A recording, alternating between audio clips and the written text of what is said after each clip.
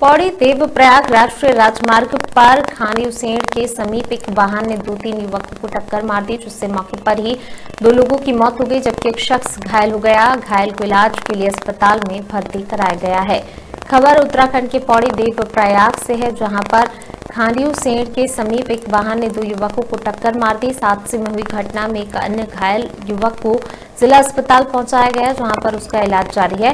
जानकारी देते हुए सीयू सदर पौड़ी प्रेमलाल टमटा ने बताया कि खांडियो सेठ कस्बे के समीप एक लोडर वाहन पौड़ी से देवप्रयाग जा रहा था।